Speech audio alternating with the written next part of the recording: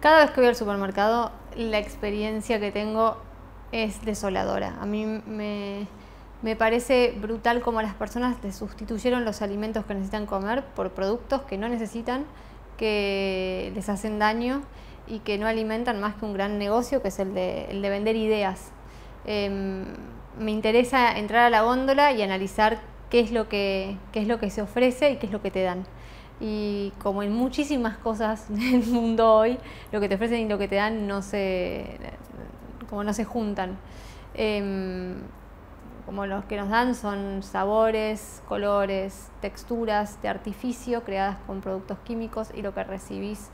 eh, detrás de todo eso eh, son ingredientes baratos, ultra refinados, con los que las marcas ganan un montón porque gastan bastante poco,